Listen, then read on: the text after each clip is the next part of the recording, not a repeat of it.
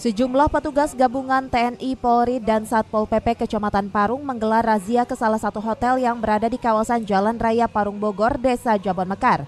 Dalam razia tersebut, petugas membubarkan pengunjung yang ada di dalam kafe dan petugas pun meminta pihak pengelola untuk segera menutup sementara tempat usahanya karena menyalahi aturan PSBB pra-adaptasi kebiasaan baru yang seharusnya ditutup pukul 7 malam.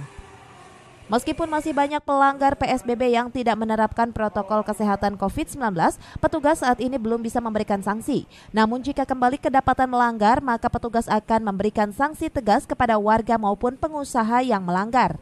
Patroli gabungan, ya, jadi dalam rangka eh, pendisiplinan masyarakat ya dalam hal masalah PSBB. Saat ini peraturan Bupati sudah keluar, ya peraturan Bupati nomor 60 bahwa untuk restoran, minimarket, dan tempat-tempat keramaian itu wajib tutup jam 19.00.